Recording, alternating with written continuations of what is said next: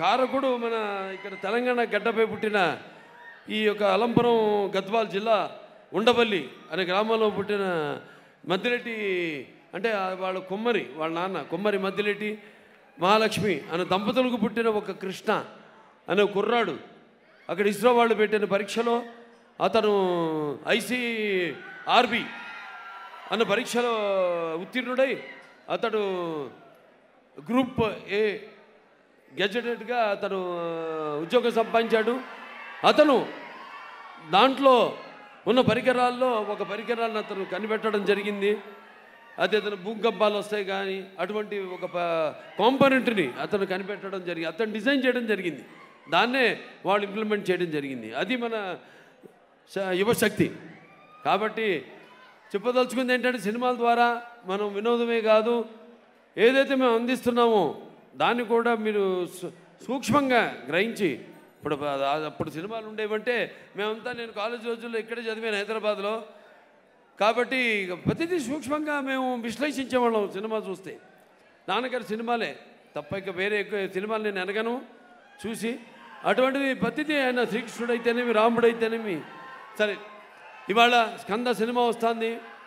తప్పకుండా ఈ చిత్రం బాగా ఆడాలని నేను ఆ భగవంతుని ప్రార్థిస్తున్నాను. ఎందుకంటే ఒకటి డెడికేషన్. అంటే డెడికేషన్ ప్రతి ఒక్కరు. మా డైరెక్టర్ గారికి నేను చెప్పక్కర్లేదు. మా ఒక్కొక్క సినిమా మాకే ఛాలెంజ్ ఒక సినిమా అయిన తర్వాత మరి ఆ సినిమా గురించి రెండో సినిమా జరుగుతున్నప్పుడు దాని గురించి మాట్లాడడం ఆలోచించాం అలాగే మూడో సినిమా చేసాం మళ్ళీ మొదటి రెండు సినిమా గురించి మేము మాట్లాడుకోలేదు. అసలు వాడు దా ప్రసక్తే ఎత్తలేదు ఇప్పుడు ఎక్కడ. సో అలా ఒక డెడికేషన్. అంతే తప్పితే మించాలి పోయిన సినిమా కంటే మించాలి అని ఒక బా ఒక టెన్షన్ లేకుండా చేశాం కాబట్టి ఆ సినిమాని మీరందరూ సినిమా సినిమానికి వైవిధ్యాన్ని మీరు ఆదరించారు. అది సరే అది మన తెలుగు ప్రేక్షకులకు ఉన్న ఒక ప్రత్యేకత.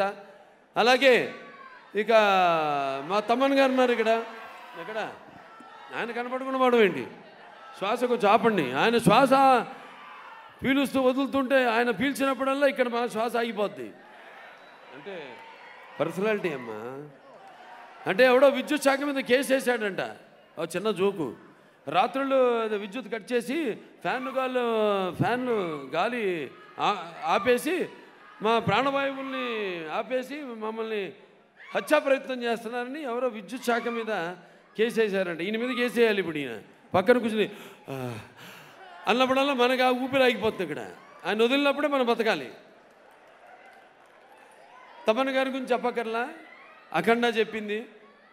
బాక్స్ బద్దలై బాక్సులు బద్దలైపోయినాయి. రికార్డులు అక్కడ బద్దలైపోయినాయి.